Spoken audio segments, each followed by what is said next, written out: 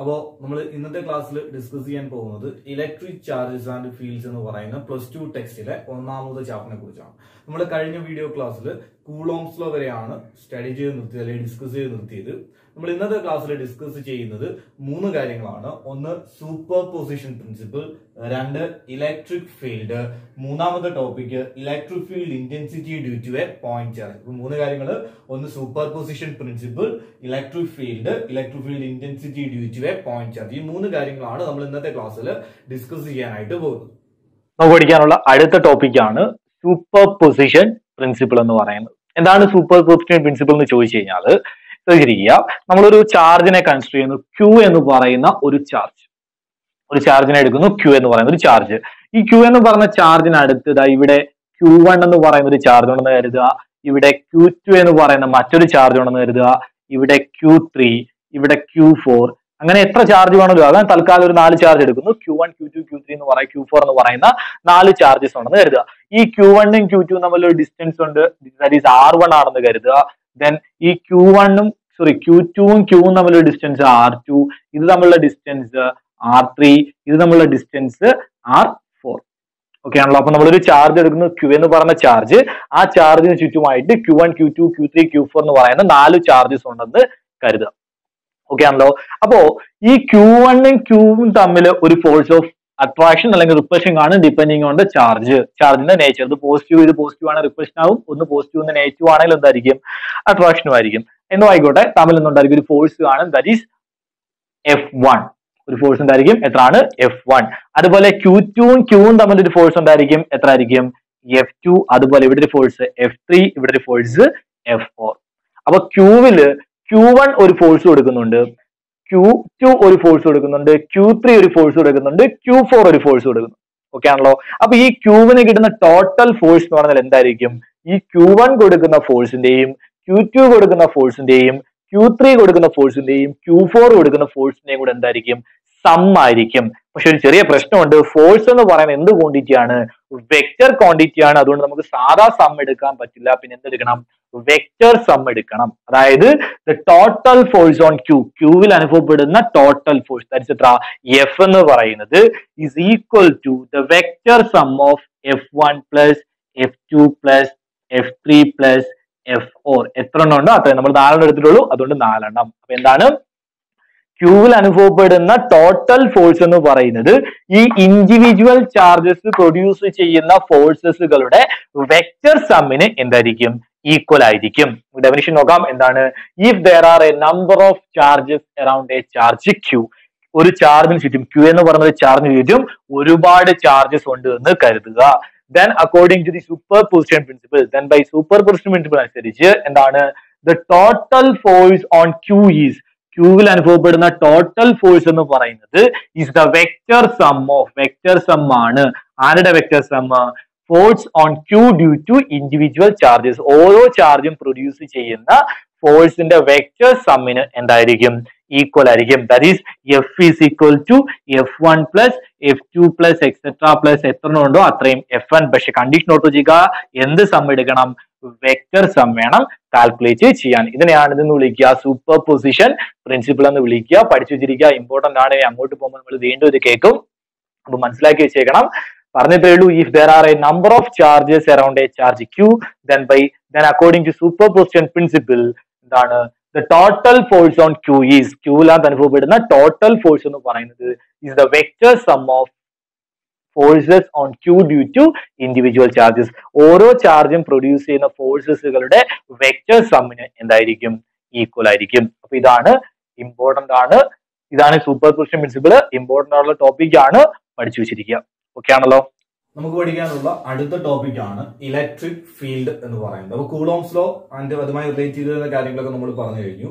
ഇനി നമ്മൾ പഠിക്കുന്ന ഒരു പുതിയ ടോപ്പിക്കാണ് ഇലക്ട്രിക് ഫീൽഡ് വളരെ ഇമ്പോർട്ടന്റ് ആയിട്ടുള്ള ടോപ്പിക്കാണ് ഇതെന്ന് പറയുന്നത് ഇലക്ട്രിക് ഫീൽഡ് എന്ന് പറയുന്നത്. അപ്പൊ എന്താണ് ഇലക്ട്രിക് ഫീൽഡ് എന്ന് ആദ്യം അറിയണം. എന്താണ് ഇലക്ട്രിക് ഫീൽഡ് അപ്പോ നമുക്കൊരു ചാർജിനെ കൺസിഡർ ചെയ്യാം. ഞാൻ ഒരു ക്യൂ എന്ന് പറയുന്ന ഒരു ചാർജിനെ കൺസിഡർ ചെയ്യുന്നു എന്ന് കരുതുക. അതായത് ക്യൂ എന്ന് പറയുന്ന ഒരു ചാർജ് അത് പോസിറ്റീവ് ആകാം നെഗറ്റീവ് ആകാം എന്തോ ആയിക്കോട്ടെ നമ്മൾ തൽക്കാലം അതൊന്നും കൺസിഡർ ചെയ്യുന്നില്ല. ദർ ചാർജ് എന്താണ്?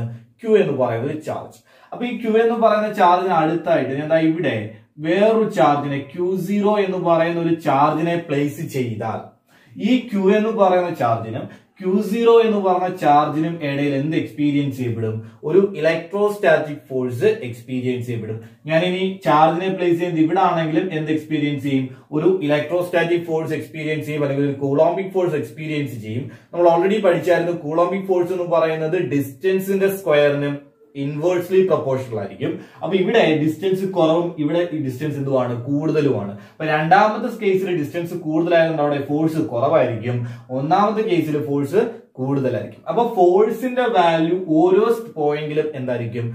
ഡിഫറെന്റ് ആയിരിക്കും.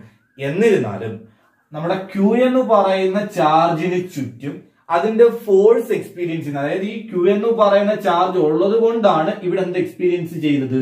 ഫോഴ്സ് എക്സ്പീരിയൻസ് ചെയ്തത്. രണ്ടിടത്തും ഫോഴ്സ് എക്സ്പീരിയൻസ് ചെയ്യാനുള്ള കാരണം ക്യൂ എന്ന് പറയുന്ന ചാർജാണ് അപ്പൊ ക്യൂ എന്ന് പറയുന്ന ചാർജിന് ചുറ്റും എന്ത് എക്സ്പീരിയൻസ് ചെയ്യപ്പെടുന്നുണ്ട്? ഒരു ഇലക്ട്രോസ്റ്റാറ്റിക് ഫോഴ്സ് എക്സ്പീരിയൻസ് ചെയ്യപ്പെടുന്നുണ്ട്.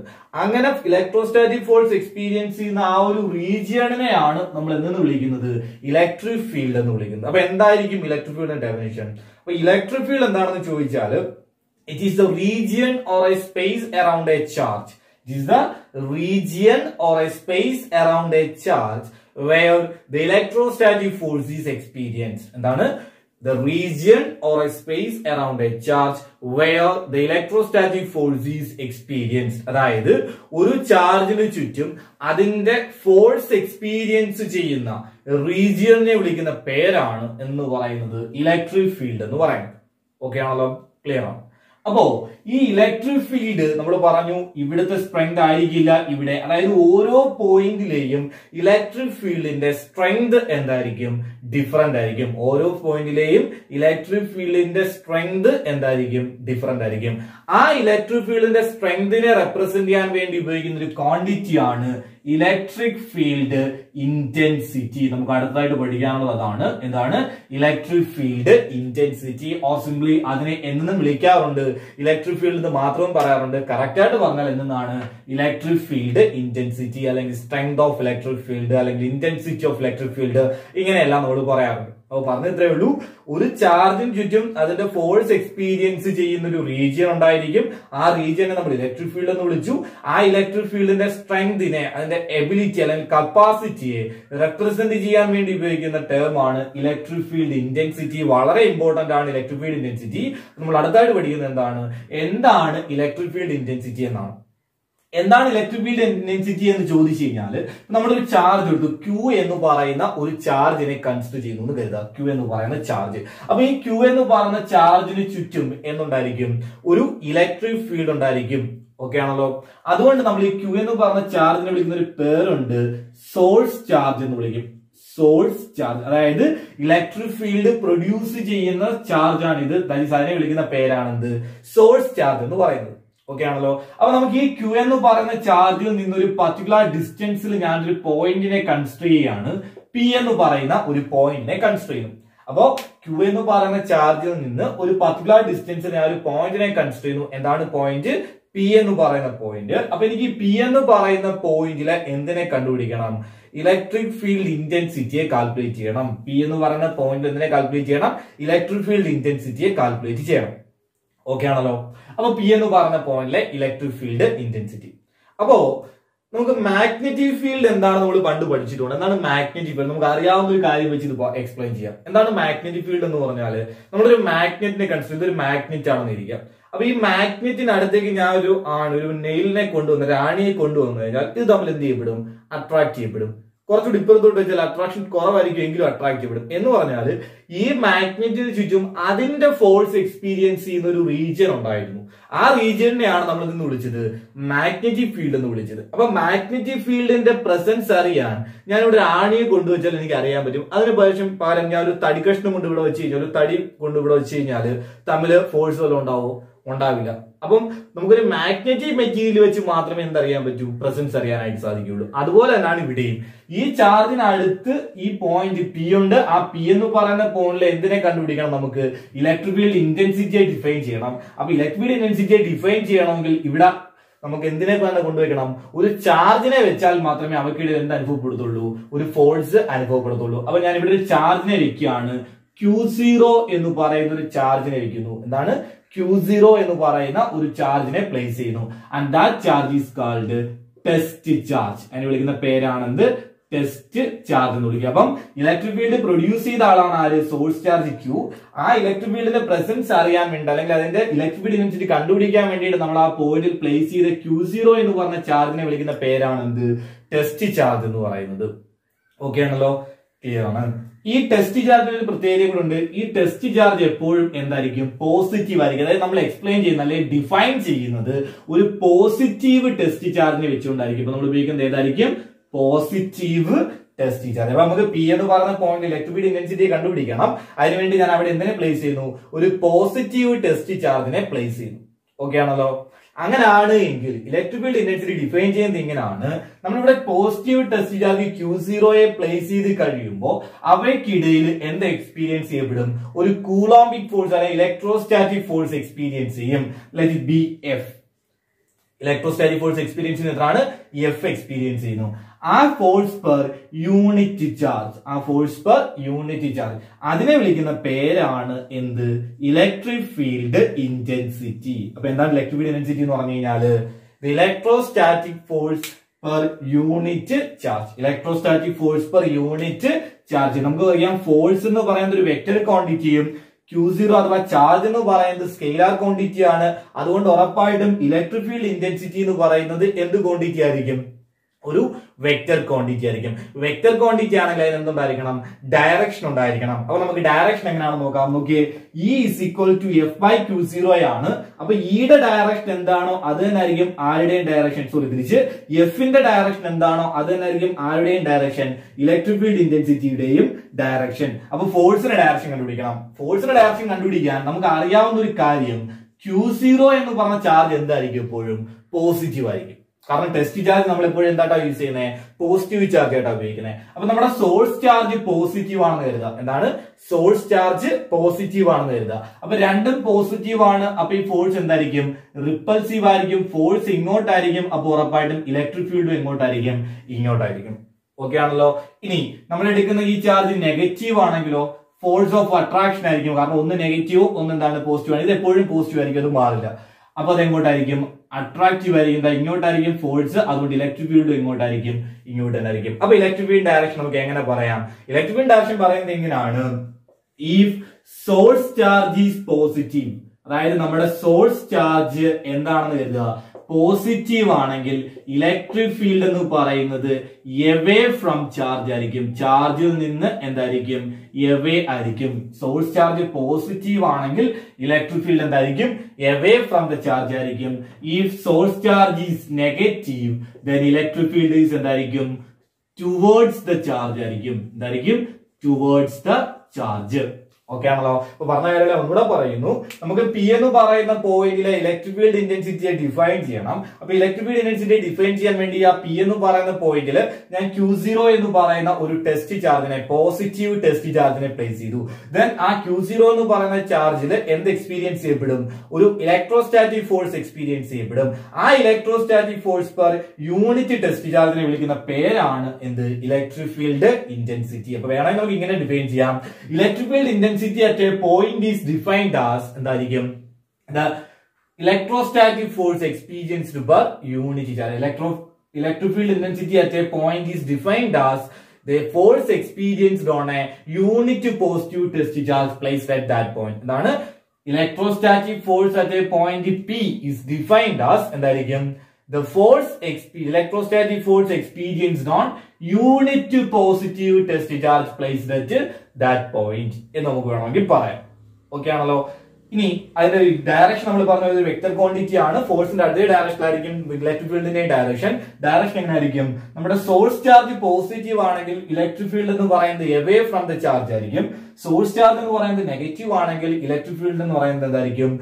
ടുവേഴ്സ് ദി സോഴ്സ് ചാർജും ആയിരിക്കും. ഓക്കെ ആണല്ലോ? അതുപോലെ ഇലക്ട്രിക് ഫീൽഡ് എന്ന് പറയുന്നതിന് യൂണിറ്റ് ഉണ്ട്. അതിന്റെ യൂണിറ്റ് എന്ന് പറയുന്നത് ഫോഴ്സിന്റെ യൂണിറ്റ് ന്യൂട്ടൺ ആണ്. ചാർജിന്റെ യൂണിറ്റ് കൂളോം ആണ്. അപ്പൊ യൂണിറ്റ് എന്തായിരിക്കും? ന്യൂട്ടൺ പെർ കൂളോം ആണ്. ഒരു കാര്യം കൂടെ ഓർത്ത് വെച്ചേക്കുക ഓൾസോ ഒരു യൂണിറ്റ് കൂടെ ഉണ്ട് which is volt per metre നമ്മൾ പിന്നീട് പഠിക്കും. അടുത്ത ചാപ്റ്ററിൽ പഠിക്കുക ആ യൂണിറ്റ് എങ്ങനെ വന്നേന്ന്. തൽക്കാലം ഇങ്ങനെ ഓർത്ത് വെച്ചിരിക്കുക. രണ്ട് യൂണിറ്റ് ആണുള്ളത്. രണ്ടും സെയിം തന്നെയാണ് ന്യൂട്ടൺ പെർ കൂളോം എന്ന് പറയുന്നതും വോൾട്ട് പെർ മീറ്റർ എന്ന് പറയുന്നതും ഒരേ യൂണിറ്റ് തന്നെയാണ് ന്യൂട്ടൺ പെർ കൂളോം അല്ലെങ്കിൽ വോൾട്ട് പെർ മീറ്റർ അതായിരിക്കും എന്തിന്റെ യൂണിറ്റ് എന്ന് പറയുന്നത്? ഇലക്ട്രിക് ഫീൽഡ് ഇന്റൻസിറ്റിയുടെ യൂണിറ്റ് എന്ന് പറയുന്നത്. ഓക്കെ ആണല്ലോ? അപ്പൊ ഇതാണ് ഇലക്ട്രിക് ഫീൽഡ് ഇന്റൻസിറ്റി എന്ന് പറയുന്നത്. പക്ഷെ അവിടെ ചെറിയ പ്രോബ്ലം ഉണ്ട്. എന്താണ് ചെറിയ പ്രോബ്ലം എന്ന് ചോദിച്ചു. നമ്മളിപ്പം അങ്ങോട്ടുള്ള ഡെറിവേഷൻസ് ഏതെങ്കിലും ഡെറൈവ് ചെയ്യാൻ ചെയ്യുന്ന സിറ്റുവേഷനിലോ പ്രോബ്ലംസ് ചെയ്യുന്ന സിറ്റുവേഷൻസിലോ എല്ലാ സമയത്തും നമ്മൾ ഉപയോഗിക്കുന്ന ഇക്വേഷൻ എന്ത് തന്നെയാണ്? E is equal to F by Q zero എന്ന് പറയുന്ന ഇക്വേഷൻ തന്നെയാണ്. അതിൽ മാറ്റമൊന്നുമില്ല. Electric field density is equal to force by charge എന്ന് പറയുന്ന ഇക്വേഷനാണ് നമ്മൾ സാധാരണ യൂസ് ചെയ്യുന്നത്. പക്ഷേ ഈ ഇക്വേഷൻ എന്ന് പറയുന്നത് കറക്റ്റ് അല്ല. ഈ ഇക്വേഷൻ അതൊരു ചെറിയ പ്രോബ്ലം ഉണ്ട്. എന്താണെന്ന് ചോദിച്ചു കഴിഞ്ഞാൽ ശ്രദ്ധിച്ചേക്കുക നമ്മളിവിടെ ക്യൂ എന്ന് പറയുന്ന ഒരു ചാർജിനെ വെച്ചിട്ടുണ്ടെന്ന് പറഞ്ഞു. ഈ ചാർജിന് ചുറ്റും എന്ത് എക്സ്പീരിയൻസ് ചെയ്യും? ഒരു ഇലക്ട്രിക് ഫീൽഡ് എക്സ്പീരിയൻസ് ചെയ്യും എന്ന് പറഞ്ഞു. ഓക്കെ ആണല്ലോ? ആ എക്സ്പീരിയൻസ് ചെയ്യുന്ന പോയിന്റ് ആണ് പി ആ പി എന്ന് പറഞ്ഞ പോയിന്റിൽ ഞാൻ ആരെ പ്ലേസ് ചെയ്തു? ക്യൂ സീറോ എന്ന് പറഞ്ഞ ചാർജിനെ പ്ലേസ് ചെയ്തു. പക്ഷെ പ്രശ്നം എന്താണെന്ന് ചോദിച്ചു കഴിഞ്ഞാൽ ഈ ക്യൂ സീറോ എന്ന് പറഞ്ഞ ചാർജിനും എന്തുണ്ട്? ഒരു ഇലക്ട്രിക് ഫീൽഡ് ഉണ്ട്. ക്യൂ സീറോ എന്ന് പറഞ്ഞ ചാർജിനും എന്തുണ്ട്? ഒരു ഇലക്ട്രിക് ഫീൽഡ് ഉണ്ട്. അപ്പൊ ഈ ക്യൂ സീറോ എന്ന് പറഞ്ഞ ചാർജും എന്തിനെ പ്രൊഡ്യൂസ് ചെയ്യും? ഒരു ഇലക്ട്രിക് ഫീൽഡിനെ പ്രൊഡ്യൂസ് ചെയ്യും. അപ്പൊ ഈ പി എന്ന് പറയുന്ന പോയിന്റിലെ ടോട്ടൽ ഇലക്ട്രിക് ഫീൽഡ് എന്ന് പറയുന്നത് എന്തായിരിക്കും? ഈ സോഴ്സ് ചാർജിന്റെയും ഈ ടെസ്റ്റ് ചാർജിന്റെയും കിട്ടത്തുള്ളൂ അപ്പോ നമ്മളിവിടെ കണ്ടുപിടിക്കുമ്പോൾ നമുക്ക് കിട്ടുന്നത് ഒരിക്കലും പി എന്ന് പറയുന്ന പോയിന്റ് ഈ ഡെഫിനേഷൻ വെച്ച് പറയുകയാണെങ്കിൽ പി എന്ന് പറയുന്ന പോയിന്റിൽ കിട്ടുന്ന ഇലക്ട്രിക് ഫീൽഡ് എന്ന് പറയുന്നത് ആരുടേത് മാത്രമായിരിക്കില്ല? ഈ സോഴ്സ് ചാർജിന്റെത് മാത്രമായിരിക്കില്ല. അപ്പൊ അത് ഒഴിവാക്കാൻ ആ ഒരു പ്രോബ്ലം ഒഴിവാക്കാൻ വേണ്ടിയിട്ട് നമ്മൾ ചെയ്യുന്ന എന്താണെന്ന് ചോദിച്ചു കഴിഞ്ഞാൽ ഈ ടെസ്റ്റ് ചാർജിനെ നമ്മൾ minimum maximum sorry sorry test charge നമ്മൾ മാക്സിമം എന്താക്കണം ചെറുതാക്കണം. അപ്പൊ അതിനു വേണ്ടിയിട്ട് ഡെഫിനിഷൻ പറയുന്നത് ഇങ്ങനെയാണ് electric field intensity is equal to limit Q tends അല്ലെങ്കിൽ Q zero tends to zero F by Q zero അപ്പൊ യഥാർത്ഥത്തിലുള്ള ഇക്വേഷൻ ഇങ്ങനെയാണ്. നമ്മൾ പക്ഷെ പ്രോബ്ലം ചെയ്യാനോ ഡെറൈവ് ചെയ്യാനോ അടുത്ത ഡെറിവേഷൻസിലോ ഒന്നും ഈ ഇക്വേഷൻ ഉപയോഗിക്കാറില്ല. ഉപയോഗിക്കുന്നത് ഇത് തന്നെ ആയിരിക്കും പക്ഷെ ഓർത്ത് വെച്ചേക്കുക യഥാർത്ഥത്തിൽ ഡിഫൈൻ ചെയ്യേണ്ടത് എങ്ങനെയാണ്? Is equal to limit Q zero tends to zero F by എന്തായിരിക്കണം? ക്യൂ സീറോ എന്ന് പറഞ്ഞാൽ നമ്മൾ എടുക്കുന്ന പോസിറ്റീവ് ടെസ്റ്റ് ചാർജ് എന്ന് പറയുന്നത് എന്തായിരിക്കണം? വളരെ ചെറുതായിരിക്കണം. Q zero approach approaches to zero സീറോയിലേക്ക് എന്ത് ചെയ്യണം? അപ്രോച്ച് ചെയ്യണം. ദാറ്റ് ഈസ് ഇൻഫൈനിറ്റിസിമലി സ്മാൾ ആയിരിക്കണം അല്ലെങ്കിൽ വാനിഷൻലി സ്മാൾ ആയിരിക്കണം. എങ്കിൽ മാത്രമേ നമുക്ക് എന്ത് പറയാൻ പറ്റത്തുള്ളൂ? ഇലക്ട്രിക് ഫീൽഡ് ഇന്റൻസിറ്റിയെ ഡിഫൈൻ ചെയ്യാനായിട്ട് പറ്റത്തുള്ളൂ. അപ്പൊ നമുക്ക് ഇലക്ട്രിക് ഫീൽഡ് ഇന്റൻസിറ്റിയെ ഡിഫൈൻ ചെയ്യാം. എന്താണ്? The electric field intensity at a point is defined as electric field intensity at a point is defined as the electrostatic force per unit test charge എന്താണ്? The electrostatic force per unit test charge acting on a vanishingly small positive test charge placed at that point. എന്താണ്? The electric field intensity at a point is defined as എന്താണ്?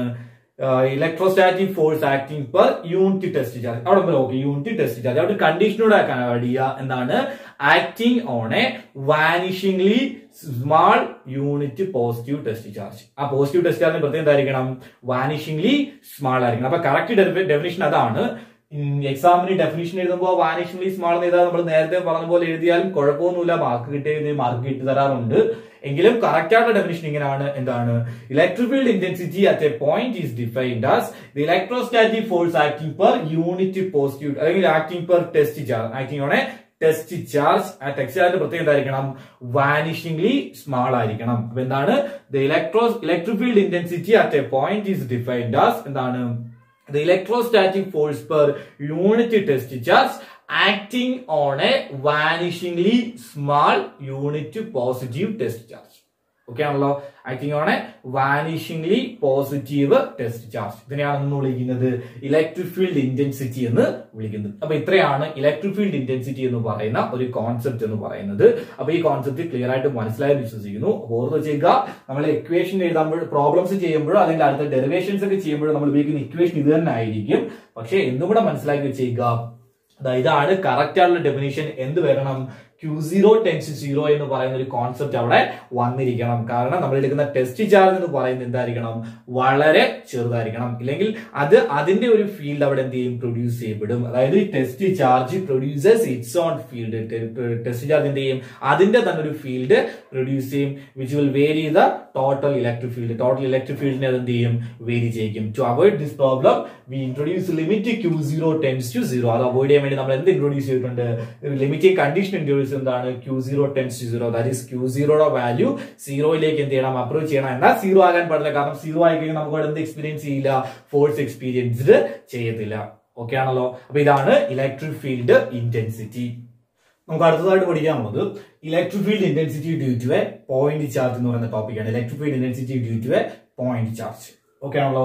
അപ്പോ നമുക്ക് ഒരു point ചാർജിനെ consider ചെയ്യാം. ഞാൻ Q എന്ന് പറയുന്ന ഒരു ചാർജിനെ കൺസിഡർ ചെയ്യുന്നത് നേരത്തെ പറഞ്ഞ പോലെ it is the source charge അപ്പൊ ക്യൂ എന്ന് പറഞ്ഞ ചാർജിനെ കൺസിഡർ ചെയ്യണം.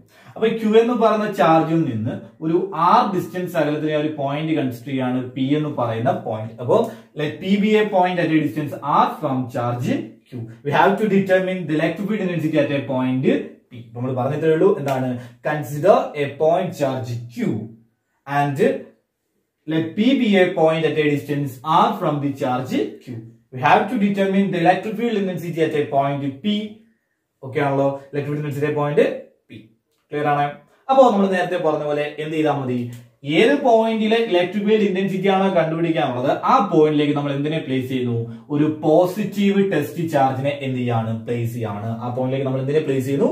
ഒരു പോസിറ്റീവ് ടെസ്റ്റ് ചാർജിനെ പ്ലേസ് ചെയ്യുന്നു. ഓക്കെ ആണല്ലോ? Then the force between these two charges ഏതൊക്കെയായിരിക്കും?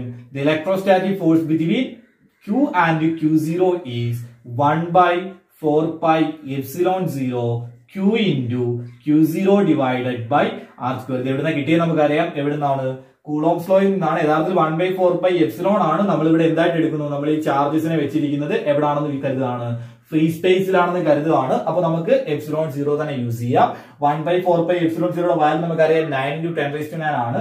Epsilon സീറോയുടെ വാല്യൂ നമുക്കറിയാം eight point eight five four into ten raised minus twelve ആണ്. അപ്പൊ ഫോഴ്സ് കിട്ടി F is equal to one by four by epsilon zero Q Q zero by R square എന്ന് പറയുന്നത്.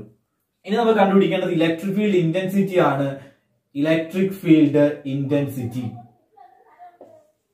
electric field intensity field intensity equation നമുക്കറിയാം എന്താണ്? E is equal to explain തൽക്കാലം E is equal magnitude മാത്രം പറയുന്നു. E is equal to F by Q zero limit Q zero tends to zero F by Q zero എന്നാണ്. പക്ഷെ നമ്മൾ പറഞ്ഞായിരുന്നു നമ്മൾ ഡിറൈവ് ചെയ്യുമ്പോഴോ പ്രോബ്ലം ചെയ്യുമ്പോഴോ അങ്ങനെ ഉപയോഗിക്കാറില്ല. എന്തിനു ഉപയോഗിക്കും? എഫ് ബൈ ക്യൂ സീറോ എന്ന് പറയുന്ന കോൺസെപ്റ്റ് തന്നെ യൂസ് ചെയ്യും. Then E is equal to എഫിന്റെ വാല്യൂ നമുക്കറിയാം എത്രയാണ്? One by four by epsilon zero Q Q zero by R square divided by Q zero നമ്മുടെ ക്യൂ സീറോയും ക്യൂ സീറോയും ക്യാൻസൽ ആവും. ബാക്കി എന്ത് വരും? E is equal to one by four by epsilon zero Q by R square. This is the electric field intensity due to a point charge. ഒരു single charge കാരണം ഉണ്ടാവുന്ന ഇലക്ട്രിക് ഫീൽഡ് ഇന്റൻസിറ്റി ഇക്വേഷൻ ആണ് എന്ത്? One by four by epsilon zero Q by R square വേണമെങ്കിൽ ഓർത്ത് ചെയ്യുക. Is proportional to one by R square is proportional to എന്തായിരിക്കും? One by R square okay ആണല്ലോ. Is proportional to one by R square. അപ്പോ ഈ Q എന്ന് പറഞ്ഞ ചാർജിൽ നിന്ന് ഉണ്ടാവുന്ന ഇലക്ട്രിക് ഇക്വേഷൻ നമുക്ക് കിട്ടി. ഡയറക്ഷൻ നമ്മൾ ഓൾറെഡി പറഞ്ഞു കഴിഞ്ഞു എന്താണ് നമ്മുടെ ക്യൂ എന്ന് പറഞ്ഞ ചാർജ് പോസിറ്റീവ് ആണെങ്കിൽ ഇലക്ട്രിക് ഡെൻസിറ്റി എന്ന് പറയുന്നത് എന്തായിരിക്കും? എവേ ഫ്രം ദ ചാർജ് ആയിരിക്കും. ഈ ക്യൂ എന്ന് പറഞ്ഞ ചാർജ് എന്ന് പറയുന്നത് എന്താണെങ്കിൽ? നെഗറ്റീവ് ആണ് എങ്കിൽ ഇലക്ട്രിക് ഡെൻസിറ്റി എന്ന് പറയുന്നത് എന്തായിരിക്കും? ടുവേഴ്സ് ദി ചാർജ് ആയിരിക്കും. ഇതൊരു വലിയ ഡെറിവേഷൻ ഒന്നും അല്ല ചെറുതും ചെറിയൊന്നാണ് പക്ഷെ ഈ ഡെറിവേഷൻ വെച്ചിട്ടാണ് നമ്മൾ അങ്ങോട്ടുള്ള എല്ലാ കാര്യങ്ങളും പഠിക്കുന്നത്. അപ്പൊ നമുക്ക് ഈ ഇക്വേഷൻ ഇമ്പോർട്ടന്റ് ആണ്. ഒരു പോയിന്റ് ചാർജ് കാരണം ഉണ്ടാകുന്ന ഇലക്ട്രിക് ഫീൽഡ് ഇന്റൻസിറ്റി ഇക്വേഷൻ ആണ് എന്ത് E is equal to one by four pi epsilon zero Q by R square എന്ന് പറയുന്നത്. ഓക്കെ ആണല്ലോ? അപ്പൊ ഇത് വളരെ ഇമ്പോർട്ടന്റ് ആണ്. ഉറപ്പായിട്ടും പഠിക്കുക. ഒരു തവണ ഫൈനൽ എക്സാമിന് ഇത് ഇങ്ങനെ തന്നെ ചോദിച്ചിട്ടുണ്ട്. രണ്ട് മാർക്കിന് എന്താണ്? Obtain the expression for electric field intensity due to a point charge ഒരു പാടില്ല ചെയ്യാൻ എന്ത് ചെയ്താൽ മതി? Consider a point consider a source charge Q consider a point charge Q Okay, now we have to determine the electric intensity at a point P at a distance r from the source charge. Okay, now to calculate the electric intensity at a point P, we place a positive test charge Q0 at a point P. Then the electrostatic force of attraction between Q and Q0 is F equal to 1 by 4 pi epsilon 0 Q Q0 by R square. Then the electric field intensity at a point P is Q is equal to F by Q0 then E is equal to 1 by 4 pi epsilon 0 Q Q0 by R square divided by Q0 then we get എന്താണ് E is equal to 1 by 4 pi epsilon 0 Q by R square and its direction is depending on the nature of source charge. If the source charge Q is positive then the electric field intensity is acting away from the charge and the source charge Q is negative then the electric field intensity is acting towards the source charge. അപ്പൊ ഇതാണ് electric field intensity due to a point charge ഒരു തവണ എക്സാമിന് രണ്ട് മാർക്കിന് ചോദിച്ചിട്ടുള്ളതാണ്. ചോദിക്കുമെന്ന് അറിയില്ല ഇനി. ചോദിച്ചാലും ചോദിച്ചില്ലെങ്കിലും നമുക്ക് ബാക്കിയുള്ള ഡെറിവേഷൻസ് ഒക്കെ പഠിക്കാൻ ഉറപ്പായിട്ട് എന്ത് അറിഞ്ഞിരിക്കണം? ഈ ഇക്വേഷൻ അറിഞ്ഞിരിക്കണം എന്താണ് electric field at a point P എന്ന് പറയുന്നത് electric field intensity due to a point charge എന്ന് പറഞ്ഞാൽ എന്തായിരിക്കും? One by four pi epsilon zero Q by R square and its value depends on distance ഡിസ്റ്റൻസിനെ മാത്രമായിരിക്കും എന്ത് ചെയ്യുക? ഡിപ്പെൻഡ് ചെയ്യുക. And charge of the source okay അപ്പോ ഇന്നത്തെ ക്ലാസ്സിൽ പറഞ്ഞ കാര്യങ്ങൾ നിങ്ങൾക്ക് കൃത്യമായിട്ട് മനസ്സിലായെന്ന് വിശ്വസിക്കുന്നു. ഓക്കെ അപ്പം ഈ വീഡിയോ നിങ്ങൾക്ക് ഇഷ്ടമായെങ്കിൽ ലൈക്ക് ചെയ്യുക. ഒപ്പം ഇതുപോലുള്ള കൂടുതൽ വീഡിയോകൾക്ക് ഇതുപോലുള്ള അടുത്തടുത്ത വീഡിയോ ക്ലാസ്സുകൾക്കായി ഈ ചാനൽ സബ്സ്ക്രൈബ് ചെയ്യുക. ഒപ്പം അടുത്തുള്ള ബെല്ലൈക്കൺ കൂടി എനേബിൾ ചെയ്യുക. താങ്ക്